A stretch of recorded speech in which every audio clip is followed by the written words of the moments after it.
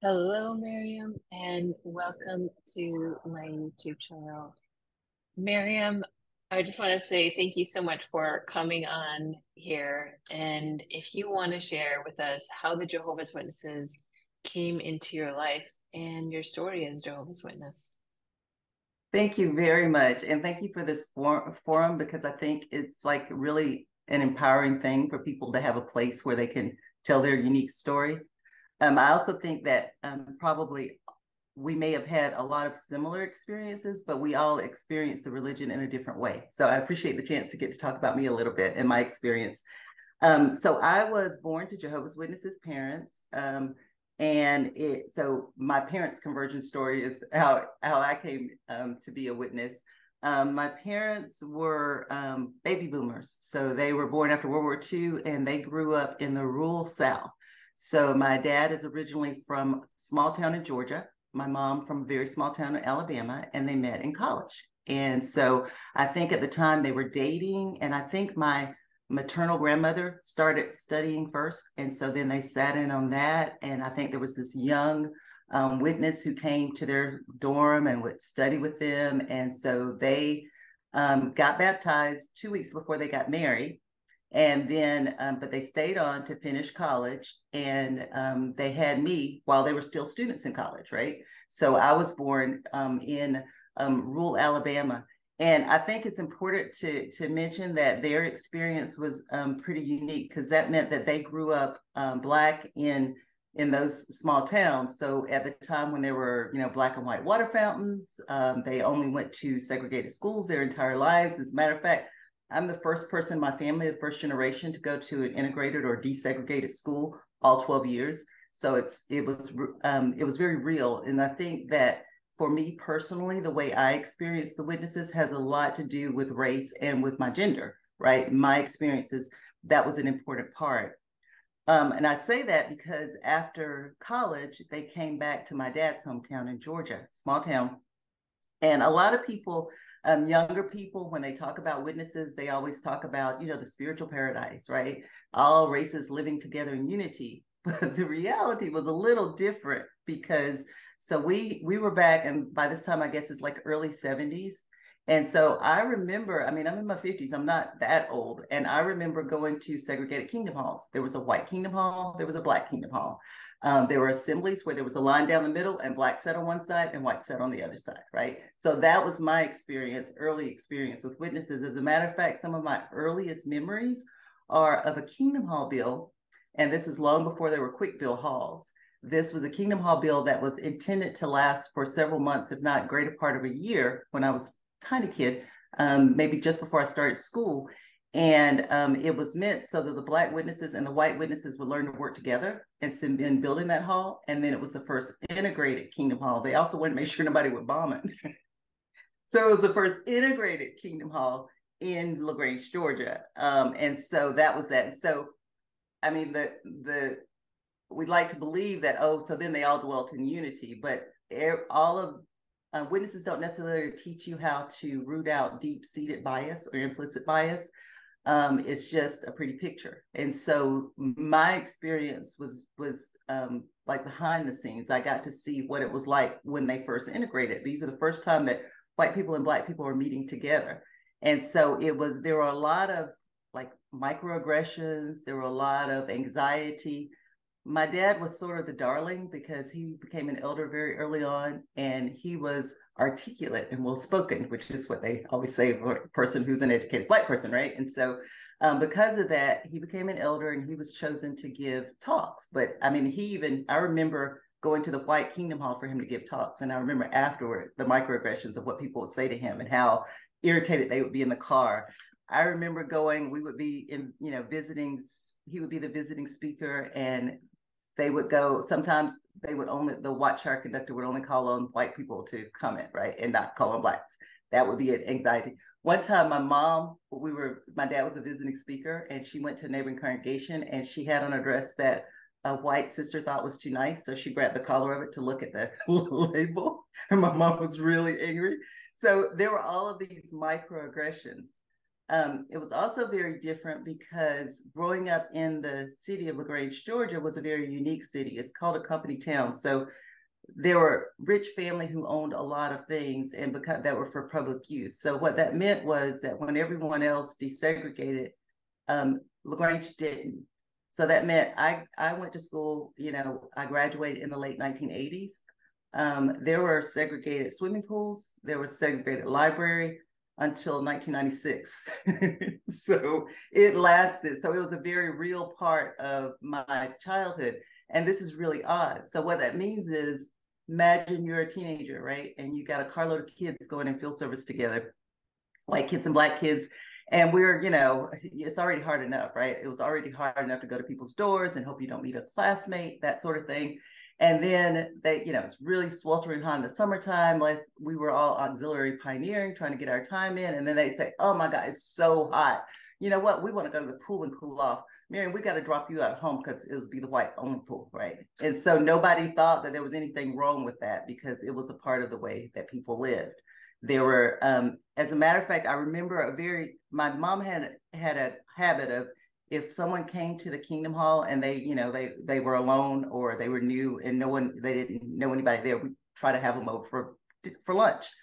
And so there was this white brother that we had over, and he said um, he came and had lunch with us, and he said that his job was he was thinking of taking a job in our city, and he said that uh, he had come here, he had come to the city, and he had seen a realtor and they wanted to, you know, sell sell my house. And he said, "There's no way I could raise my family here. I've never seen anything like this." He said, "The realtor told me this is a good neighborhood. You can be sure there'll never be any black people living next to you." Like that was the thing they said. He said, and they took him to places like these are the white pools, so these are the nice places you could. And he said, "I can't live here. I can't have that kind of prejudice around my kids." And I remember being maybe about ten or eleven. I remember thinking, well, why don't any of the people here, why don't the friends of the congregation have a problem with that? You know, why do they all think it's okay? Here's a witness from another area from the north. And he thought this was horrific and he never wanted to come here again. So it was it was weird to see that from various viewpoints. But I think it's important that that's the backdrop that I experienced, um, you know, the religion. Personally, that meant too that um, I felt like all the time growing up, there was a spotlight on my family um, so we were, you know, elders' kids. We, there were four of us, and the reality was a lot different than it looked. We were the Huxtable family, if like the early Cosby family, right? That was the persona. Um, but the reality was, you know, my mom had emotional highs and lows. Um, she had postpartum depression that she was dealing with after the kids. Um, she tried to pioneer even when she shouldn't have, like it wasn't really conducive. It was very stressful for her. Um, and my dad, we, you know, financial problems. So he was working multiple jobs most of my childhood. He was hardly ever there. So between multiple jobs and uh, trying to carry out congregation responsibilities, a lot fell on my mom. And then she put a lot on me as the older child. So I was babysitting since age eight. You know, we always, but we always had to be at the meetings on time. We had to be studied for the meetings. You know, we had to go in field service. If you were out of school for summer, you got auxiliary pioneer time um, we were supposed to pioneer as soon as we graduated. This was understood. So it was a lot of pressure. And then it made it so that, you know, so I had the typical witness issues where I go to school and it's so hard not celebrating birthdays and not celebrating holidays. And you just, you know, and you're supposed to proselytize all the time. And who wants to hear that? So I stood out as being different that way. But then it was just as hard inside of the congregation because um, there are a lot of kids who are doing different things, right? So nobody wants the, you know, elders kid who's supposed to be the shiny, happy elders kid if they're dating a really guy, right? Or if they're doing something they thought I would narc on them. So it was like really hard for me to fit in that way. And then sometimes I'd have what I called pretend friends because, you know, I'd have like a, my dad would have a, he was a district and a circuit um, convention speaker. So he'd always, you know, put his kids on to talk about how well we were doing. And so parents would sometimes send their teens to come over and associate with me. And the teens were like, they would do it, but just because they could get away with doing anything with this eldest daughter, right? If they were, if they said they were going with me, then it was okay for them to hang out. So there was a lot of that, and it made it um, very difficult to negotiate identity formation as an adolescent. So it's like the backdrop of dealing with race prejudice, the backdrop of dealing with the demands of the organization, it just, you know, it, it was it was difficult. But there were pockets of fun too. I mean, I got to be in some uh, about three or four district assembly dramas. I enjoyed that. Um, I worked about three jobs at one point and saved up money to go to a um, international assembly. And I got to go to Prague back when it was actually Czechoslovakia and um, tour Europe. So that was that was fun. It would have been great if I didn't have to do all the the things that the tour said I had to do if I had gotten to truly have that experience as a tourist. But you know, it wasn't all drudgery. There was that. But um, field service was always difficult for me. Um, I always had anxiety, often had panic attacks. I didn't even recognize what they were at the time. Um, I was very, I understood that you know, very much that the people didn't want me there and why they didn't want me there and how insulting some of the things that we were taught to say was, you know, basically about their religion. And so that was always something that was difficult for me. Um, and so my escape was always reading. I read absolutely everything. Books were my, you know, that was my world. I lived, I was such a nerd. Um, and so I, I escaped through books. I also read all of the witness literature, right? I read older bound volumes, and I used to always be disturbed by a lot of things that I read. Um, for instance, the the way that the friends were treated in Malawi, you know, that was always because we were always supposed to pray for these African brothers and sisters who were having horrible things happen to them. And that's why later it became a very visceral experience. I remember reading about that and worrying about that as a kid and then I got older and read Crisis of Conscience and read, oh, well, the Friends of Malawi were having to go through all of this persecution, but yet they were, because they couldn't buy a party card because the Watchtower Bible Tract Society said they weren't supposed to buy one, but yet in other countries, they let them do that, right? And, and, and a former governing body member said, yeah, that wasn't, they weren't treated fairly at all. And so it helped me. Later, I realized that's because um, there's not, I, I was a part of a white center male dominated organization right? That's the mindset. Um, it's if the only you know governing body member there's only one of color and in a hundred years then that means that perspective is gonna is gonna be the perspective that they see things. That's their lens in which they see the world. And so that was that's something that took a while for me to understand. Um, but as a teenager, um, one of the problems with excelling in school and making good grades is that, you know, then you're encouraged to go to college. And so that was a, I think that was maybe the first time I started to think, you know, I really want to do something very different from what I'm supposed to. I would love to go to college.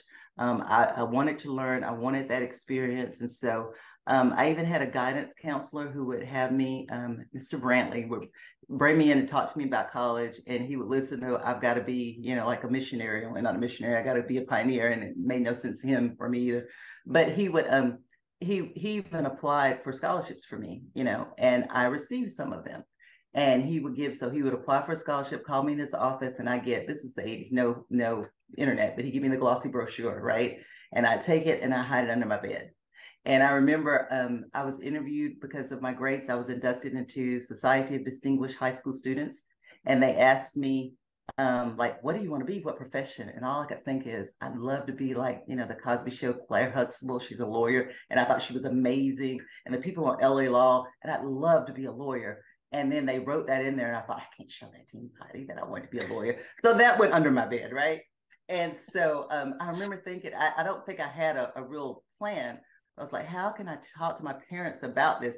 And my mom found a stash under my bed, and she uh, it, and she told me basically, no uncertain terms. If you think we're not going to help you apply to college, if you think you're going to do that, it's going to be an embarrassment to the family. You will leave our house with the clothes on your back. That'll be all that you have. That terrified me because I had no job, no way to support myself. So I knew that that was a non-starter. I would not be doing that. So I graduated with honors and I started working odd jobs. I worked in retail, I worked at a daycare, um, and I pioneered. And it took a while. I think I finally got enough to even buy a car to pioneer with um, when I was um, working for a UPS packaging company when I was like maybe about 19. Um, but I only worked part time. I never had enough money. I, it took money to pioneer. So I only had enough money to go in field service and keep up my car. Never had enough money to pay rent or do any of those other things. And I never developed any marketable skills, right? It was always just whatever odd jobs were hiring, but it was never a career track. It was never anything that I could um, that I could do well and support myself. So there was that, and then so I did what most um, good witness girls do: you find a husband, right? If you can't do that and you want to get out of your parents' house, so I married the first guy who asked me, and he's you know we had grown up together, we had known each other since we were twelve.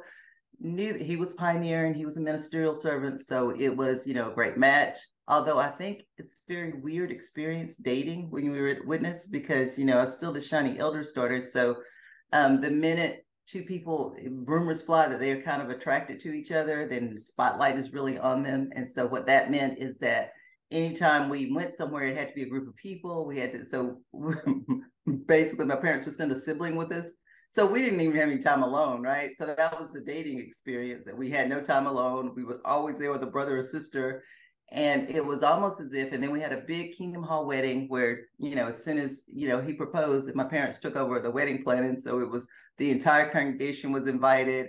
And i look at that i don't think i had very many decisions to make. It was what my parents chose. So you know because that's the goal. You you take a girl and you marry her off to someone and then you know your job is done. Then she's safe right? Taken care of. So i went from my parents i went from daybed in my parents house to my husband's house right? And I remember thinking that during those times, how great it would be to have choices. Like my little brother, you know, went to Bethel. And I thought, wow, to be able, and he seemed to be building some kind of a life for himself with new friends and stuff.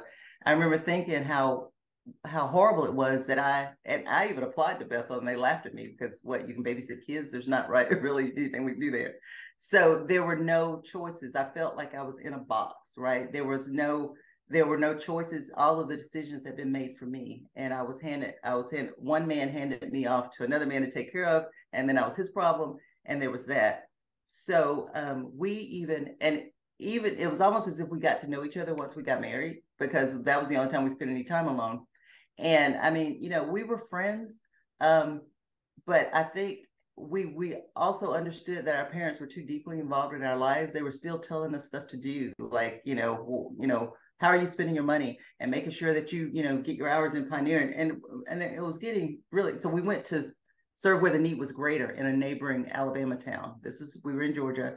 We went across the state line and we started just so we could have some kind of autonomy. Only you know being kids we went and we bought a house in this really economically depressed place where there are even fewer jobs and even less economic opportunities because you know that's where the need was greater. That's why in a really rural congregation. Um, so all of the problems that we had in our home congregation were exacerbated. Race prejudice was exacerbated, lack of economic opportunity and no marketable skills.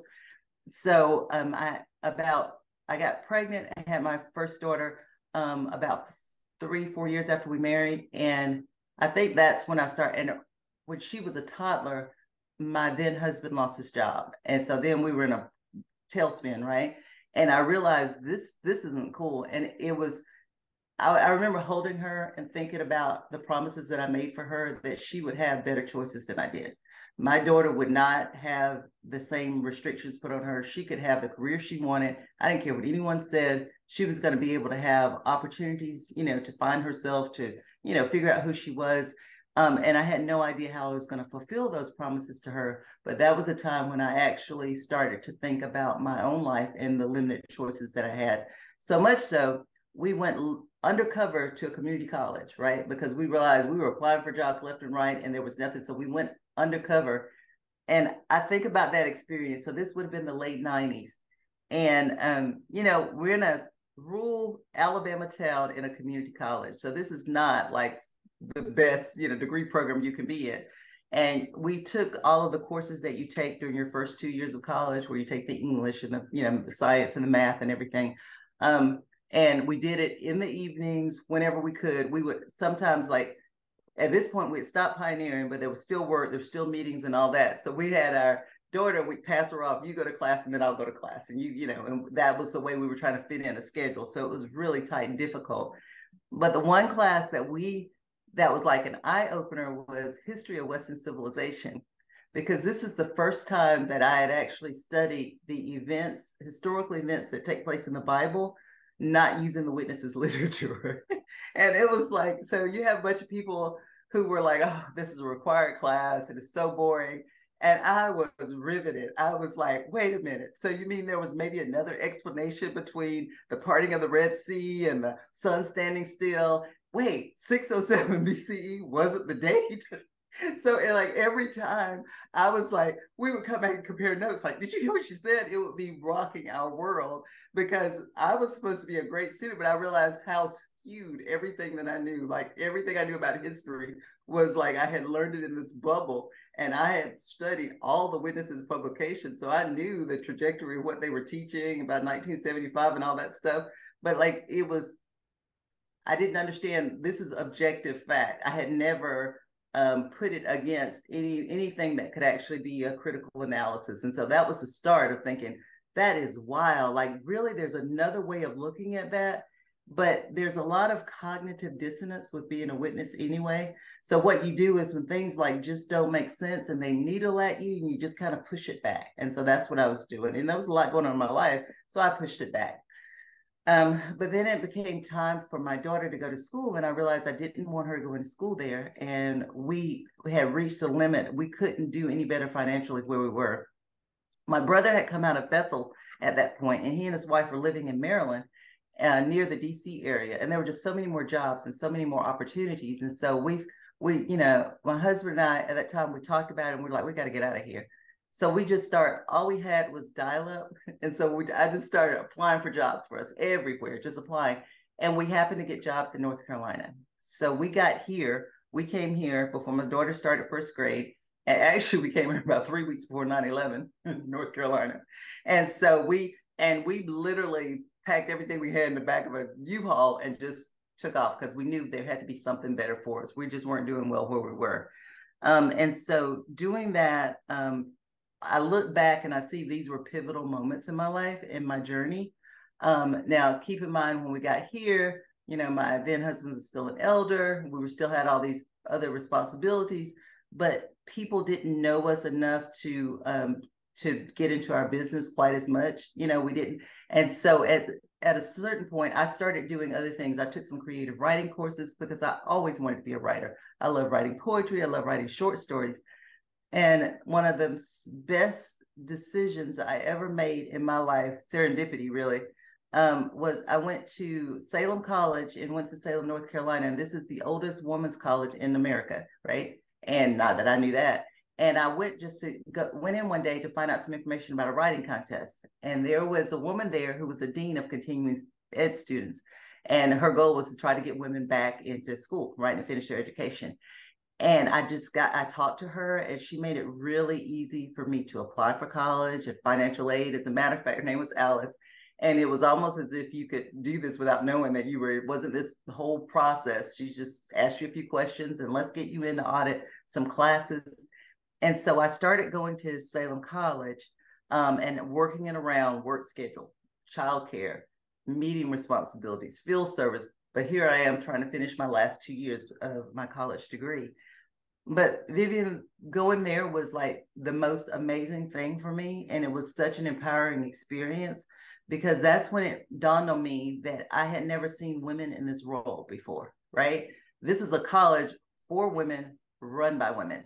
There are women doing maintenance or maintenance crews. There's a woman who's a president of a college, everything in between. My tenure professors, all women. So on the one hand, I was seeing what women could be, right? When they weren't weaker vessels, when they weren't told from childhood that they had to be submissive. And it was comparing what was going on from the platform with what I was seeing. And it's like, you know, I was in my early 30s at this point, and there would be this searing discussions about who, you know, skirts being worn too short and a quiet and mild spirit and I saw how little autonomy we had over our lives and our bodies and our choices. And yet I go to class and I hear these women talk about living an examined life and the sky's the limit and what do you want to be? And so um, there was that dichotomy. And I think I, I, I wrote about this. Um, I think a pivotal experience. So I had to write an honors thesis as part, I was an English major. And I had a mentor that I had to meet with. And I was also supposed to, from the platform, we were supposed to increase our time and field service. So I thought, well, I'll just witness to her. And I remember having an Awake magazine I was going to share with her in our session where we were going over my thesis. And I remember thinking this whole process of, you know, we're talking about this. And my professor that I love so much, one of the things she would say whenever she's there, she's like, Your mind is like a sponge. I have never met a student who wanted to learn as much as you did. What do you want to do after college? And I thought, Well, I don't know, maybe I'll teach or something about it. And she goes, Why are you having trouble thinking bigger? Is what she would ask me every time. You're not thinking big enough. And I remember, well, I've never, I've never, no one ever cared about what I wanted to be, who I wanted to be, what I could achieve. That was pretty much all handed to me. And I literally remember taking the Awake uh, magazine out and like looking at it. I was supposed to witness to her and I already planned it. And I thought, why would I want this woman to come to the congregation?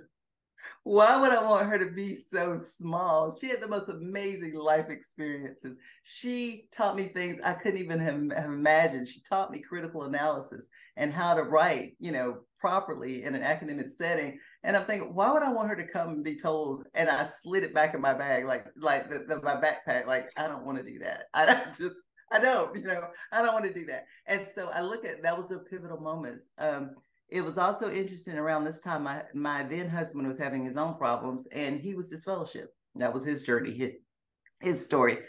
But the the reason that played for me is because suddenly I wasn't an elder's wife, right? I wasn't an elder's daughter. And the thing is, for most women like that, we then in the congregation would become the problem women, you know, the woman that, you know, the, oh, don't, you know, woman trying to raise her kid with an unbelieving spouse or or single mom or whatever.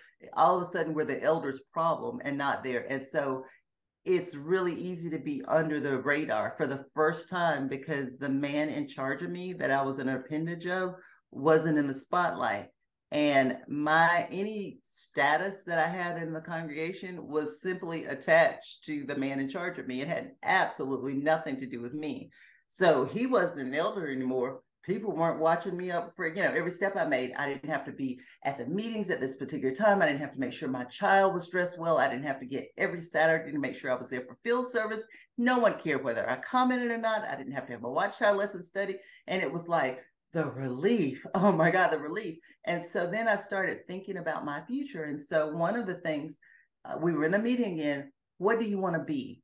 Think bigger, Miriam. And I thought, you know, I had that book that was buried under my bed. And what I really wanted was to be a lawyer, but that was 12, 13 years ago. And that's crazy, right? And she goes, That's not crazy at all. Why don't you apply? And I thought, no, that's crazy. I mean, I couldn't do that. That's and she's like, why don't you apply? So I applied to law school and I got in with a scholarship. And so that was my next journey. And so then I went to law school. Um, and at this point, I had actually faded, right? At this point, I, I realized this is not, it was at, it was faith deconstruction. I didn't really have a model to follow um, I had joined some online groups, and so I knew that there were other people's experiences. Um, I had read Crisis of Conscience by you know Ray Franz because I you know read everything, and that was interesting. And another thing that really was empowering to me is Barbara Anderson, her experience, um, and I, I, you know as a woman, and it was it, it really resonated with me because I can remember in the early 90s. I was an elder's wife. I'm in that small Alabama congregation. And I remember the most empowering. It was this Awake magazine. No, it was Watchtower magazine about women worthy of honor. It was like in the early 90s. And I remember I have never read Watchtower article that was so friggin' empowering. Like it, it made me think about the women, you know, women who were forgotten in the Bible, right? Who were just footnotes. And then to realize Barbara Anderson wrote that when she was in the writing committee. And not only had she written those articles, which is why there was a noted difference in the tone and the tenor of those articles and anything that I ever read, and I'd read everything, was because um, that to find out that she said there were women who wrote anonymously to her at when she was at Bethel saying, "Oh, that changed my life," but they could. But I'm an elder's wife, and I don't want to sign this. I don't want it to cause, you know. And I thought that is really telling. Here's the one time that we read something that was empowering, and we couldn't shout it from the rooftops we realized that our place was marginalized and that drawing any attention would have problems for the man in charge of us because bottom line that's all our role was to make them look good If you're a kid, if you're a woman, if you're a woman, you're a perpetual child, right? Someone has to always take care of you. But the job is to make them look good so they can show they're presiding over their household in a fine manner, right? That's that's what our role was.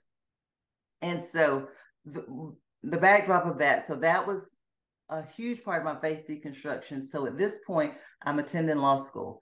And um, we moved to another city in North Carolina for law school for me specifically. Um, and, you know, um, had to make a lot of changes, flexibility. It was grueling three years.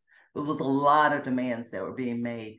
Um, and I kind of shelved the faith deconstruction. I had faded, but I didn't have time to really process any of that. I had been, you know, I really had to do this. And we were investing a lot of money into getting me ready for a career.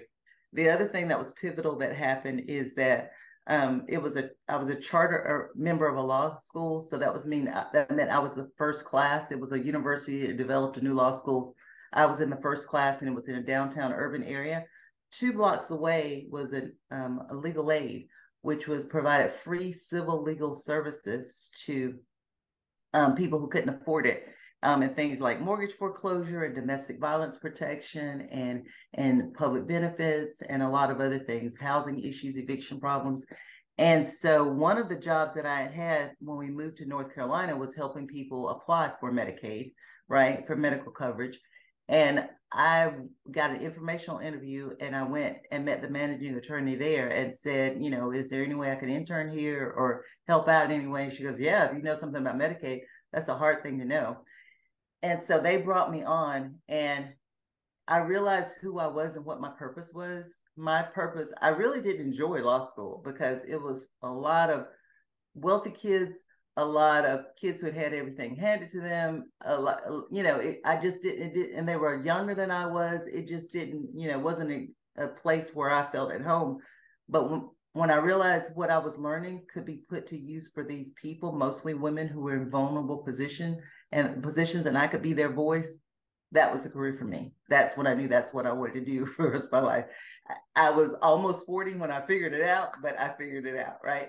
That's what I wanted to, to do with my life. And so I literally came on there as an intern and I worked there. And then I worked as an extern there. I worked as a law clerk there basically I stayed there until they gave me an actual attorney job when I graduated.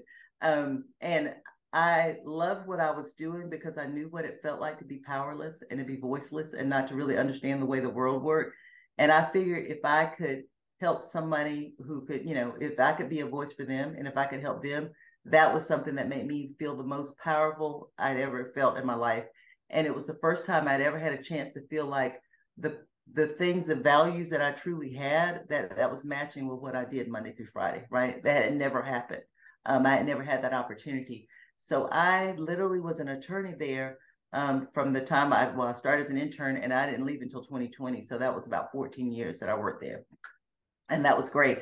Um, and I left because by that time, though, I had gotten a divorce and um, I had to support, I had another child while I was there. I had a late in life baby, a son and I needed a, a job that you know would actually help me to take care of myself. So I left and went to another nonprofit, and that's where I'm working now. And it's nationally doing the same thing, protecting Medicaid for people who need it, and trying to watch Medicaid laws, policy, doing policy on the Hill of DC, and also you know be, doing litigation track whenever that's necessary in all 50 states. So essentially, we provide technical support for legal aid offices all over the U.S so that's the job I am now. I have now, um, and I really I'm learning so much every day. It's a challenge to me, but there was a part of my faith deconstruction journey that I hadn't gone through, and I didn't realize that. In doing when in fading away and in filling my time, I felt as if I were on a mission, and my mission was to make up for lost time. Make up for lost time. I'm already 10 years behind. I'm 12 years behind. I'm, you know, I've got to do this. And so that I was driven. So between that and raising my kids, that was like all of my focus. But what I hadn't done is to process my journey very well, right? I kind of pushed that off to the side and pushed it off. And I'd done enough research to know there was no way I was ever going back. There was like, there was, there were so many things that just weren't true. There were so many new light changes that just didn't make sense, that were just defied, you know, reason and logic. But I had never processed it the way I needed to. And, and one of the books that helped me is called Exiting the JW Cult. It's a healing handbook for current and former Jehovah's Witnesses by Bonnie Zieman, who was a counselor, who's a therapist now. And she wrote that and, and a former witness. And one of the things it said is that when people go through trauma, what they need is a psychological debriefing, right? They need to tell their story. If they're refugees, asylees, they've seen some horrible genocide, they need to tell their story. It is cathartic to them to find a way to do that. And the older I got, the more I realized I wanted to tell my story. Um, there wasn't really a way to do that because I remember um, I remember various various times in my life I would be interviewing and there's this huge block of time that doesn't make sense right? And i remember getting trying to get into law school and i had finessed it away you know explain it away because you know it doesn't really help you get accepted to law school or to get a good scholarship said i spent a lot of time in a cult i had to leave so people were they either think i was younger than i was but i had a, a the professor who interviewed me for law school said but what were you doing during that time? And I was like, oh, you know, life got in the way. You know, it was like, because how do you explain that to somebody? There just isn't. And I didn't know how to process that and say it. It was all, so it was like the first 30 years of my life were just kind of a hidden experience. That, and they didn't understand my relationship with my parents had deteriorated. So first, when I started fading, they were trying to get us back to the truth. Um, and then I kind of I shared with them why I was not coming back to Jehovah and coming back to the truth. And so then I became a problem and I was relegated to my father was the only one that would communicate with me. As a matter of fact, since 2005, I haven't heard from anybody about my dad. And it's not really communication, it's an annual email telling me what I'm doing wrong and that um, he, our family can only be united when I return to Jehovah which means that they also cut ties with their um, granddaughter, my daughter, and they've never met my son, who'll be 12 this year. Never asked for a picture, never met him. It's just not a normal relationship. And I, I understand even less as a parent because I knew for me, having a parent was the time to start distancing myself from religious tenets or doctrines that would that would in, um, impede on a familial relationship. But for them, it was just the opposite. They doubled down. And I understand now because they're in their 70s. So, you know, who wants to say, wow, I did this and it's cost me so dearly, and it might not have been the right course? I think maybe there have to be some needles of doubt, um, but that's their journey. But for me, it became necessary to try to process what I had gone through, the person I was, the person I am now, and how I became that person and so that's when I started to write. And I had, I realized I had, and I, but I started to write authentically, right? And it helped me. So I started a blog, callmevashti.com. And I loved her because I didn't have many uh, feminine sheroes in the witness organization, but Vashti was the, you know, the queen who wouldn't come out when the king called her. The reason why she got, you know, removed and um, um, Esther became queen but I thought she was such a badass. Even when I was a witness, I thought Vashti was. That's why I named my blog that callmevashti.com. Um, and in doing that, I started to write my own story. I started to write, you know what, this is what it was like being a kid for me. This is what it was like being, you know, when I wanted to go to college and I couldn't. This is what race prejudice looked like for me. This is what it was like to be a woman in that organization and to never feel like that you it's not only that you it's more than not being in leadership right? It's not it's not just that women women can which is bad enough because some women should be in leadership that they could never be elders or that they could never um, you know be on the writing committee. It was also the fact that their voices aren't heard. They're not recognized. The needs that they have aren't they the people in charge can't even understand their perspective. So that even if so even if you don't have a story of sexual abuse right even if you've never been at a committee meeting because i've never been at a committee meeting. I mean if they call me i wouldn't go but i don't i don't think they even know to do that. Even even if that hasn't happened um you you still are um your autonomy is usurped whenever someone tells you about short skirts at the district convention. Um people there's so much misogyny that's um, built into the witness organization. Like the thought process that if you are a woman and you have a baby and you teach your son how to read and you take care of them and you teach them everything they know, and let's say they decide to become 12 and get baptized, suddenly they're your spiritual head. You can't even pray without covering your head in front of. I mean, how whacked is that, right? It was like all that process. So the best that you can hope for as a woman in the witness organization is a little um, condescension, right? But the best that you can hope for is a casual misogyny, right? The worst is that when women are powerless or voiceless, they're more likely to be subjects of abuse and they're less likely to be heard when they report that abuse, right? Which is why Barbara Anderson was so amazing because she was one of the ones that covered the rampant sexual abuse in the witness organization. And at the time, I don't think they hadn't been sued for it. So they could have, if they had listened to the strong, powerful, smart woman who found the records, knew what was going on, they may have saved themselves millions of dollars and a lot of, you know, a lot of problems. But why would they listen? That's a woman. She's the problem for bringing it to their attention. Anyway, those are the things that I had to process. Um, and so the other thing that I did is, you know, I think part of faith deconstruction is, you know, taking apart a belief system piece by piece, figuring out is this based in objective fact? Does this hurt or harm me? Does it fit, fit or align with my values? That's not something that I could ever do as a witness. I couldn't have done that, A, because that's independent thinking, which is a pejorative only in, in high control religions. Anywhere else, being an independent thinker is kind of a skill set. Um, but the other thing is because where do you where do where does questioning like that get you? What's the end result? And the end result is you lose absolutely everything. You lose your community, you lose your support structure. It's almost as if believe the way we do because it's the most wonderful, you know, a belief system in the world. And if you don't, then your parents and family will never speak to you again. and that's a huge price. So why would you do a critical analysis of your faith, right? There's no impetus to do that. It could only be a downside that and there were other experiences too. I remember as a teenager, there was a, a, a child in the congregation who developed a rare eye disorder, needed a blood transfusion. And basically, she became a martyr and she died. And they talked about what a really great, great um, example that she was. You know, what a wonderful thing that she had done. This 18 year old child who died when she didn't have to, right? And then only to find that they're not even teaching the same religion, the same concepts about blood transfusion when they're trying to get a, um, a religious exemption in Europe, in places in Europe. So that was mind-boggling to me. And the other thing that brought that home is my my brother's daughter, her, his oldest child, who had leukemia when she was first born. She was an infant, and it was a big shock for my family because that was one of because she was just a few months old when she absolutely had to have blood transfusion.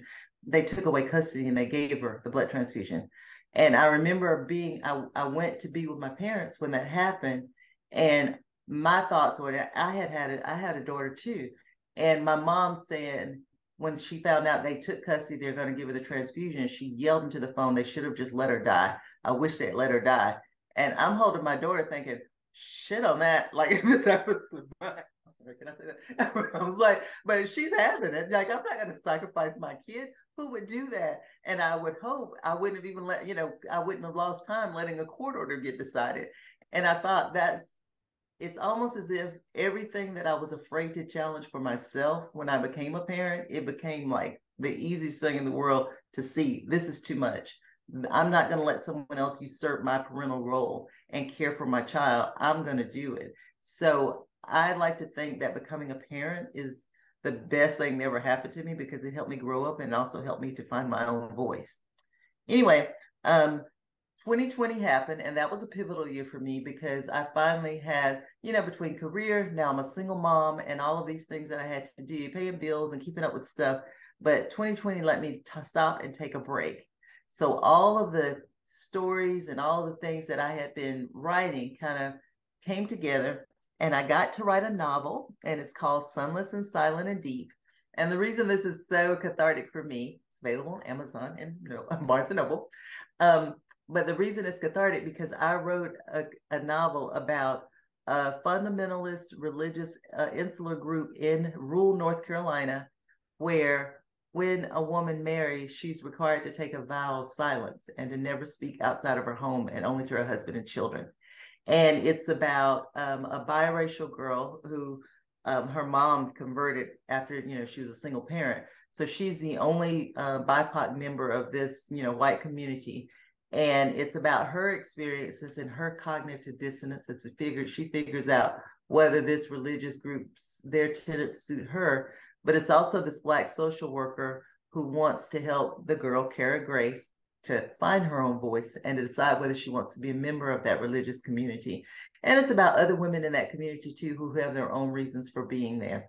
So that was an amazing experience for me because one of the things I had to do in order to create the novel is to create a religion, right? I had to create it. So I had to do a backstory for it. So I had to write the tenets of the religion. I did like a wiki page for the religion. I did um, even wrote a hymn, even though I don't write music. Um, I wrote that for it. And it was like, this is to try to understand how a belief system could trickle down and impact people with so many unintended consequences and how it could be so detrimental on a group of women.